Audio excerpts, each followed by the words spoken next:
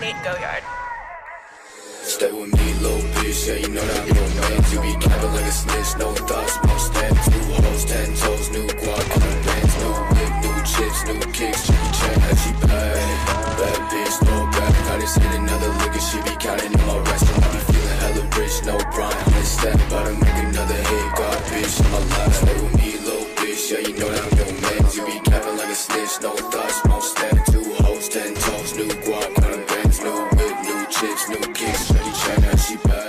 Hello gente, ¿qué onda? ¿Cómo van? Ya saben que en la descripción les va a quedar el, el instalador, los links y todo eso. Entonces, antes que nada nos vamos a ir aquí abajo. Esto es por si nosotros tenemos algún emulador de, de BlueStack instalado, alguna versión de esas. Entonces, lo buscamos en, los programas que tenemos y le damos desinstalar. En mi caso que ya tengo el BlueStack 5.3. Entonces lo desinstalamos y, esperamos a que cargue. Luego de eso le damos terminado y cerramos todo. Entonces, bueno, entonces abrimos el instalador, le damos en la opción sí y le damos a instalar ahora. Creo que cuando lo instalamos por primera vez se tarda más porque son más megas los que tenemos que descargar, pero igual no son mucho, entonces solo esperan que cargue eso y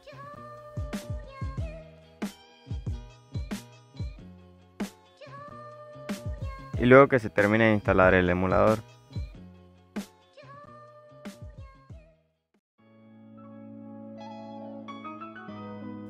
Bueno, entonces nos va a abrir el emulador, va a costar que cargue eh, porque es por primera vez y todo eso, pero no es mucho, es súper rápido todo esto, no se preocupen.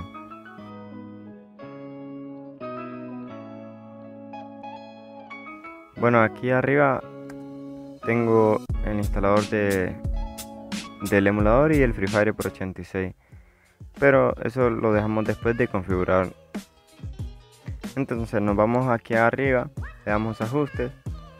Y aquí donde dice núcleos nosotros ponemos un núcleo y en RAM vamos a colocar 900 Eh, alto, alto rendimiento.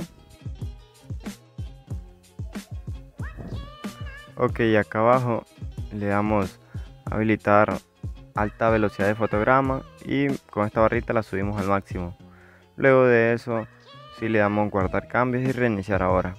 Lo reiniciamos, esperamos que cargue y vamos a irnos al, mismo apartado de ajustes en la parte de arriba y nos vamos a visualizador, que es muy importante que pongamos una resolución baja. En este caso yo voy a poner 800 y aquí 540. Listo, en DPI lo dejamos tal cual, de ahí todo lo, lo demás normal. Y nada, le damos guardar y reiniciar ahora. Cuando ya estemos listos, solo vamos a arrastrar el Free Fire por 86 y lo soltamos dentro del emulador. Lo hacemos arrastrado con clic izquierdo presionado. Entonces, no se tarda mucho, es algo rápido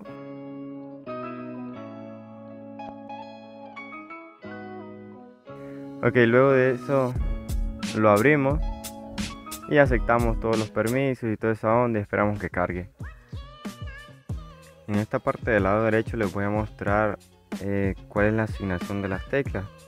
Entonces ustedes ya saben, en el teclado es y le damos a abrir editor avanzado y nos aparece el mapeo de todo el emulador y en esta parte ustedes pueden elegir por defecto lo que ya trae el emulador el mapeo por, defecto o ustedes pueden crear uno de cero.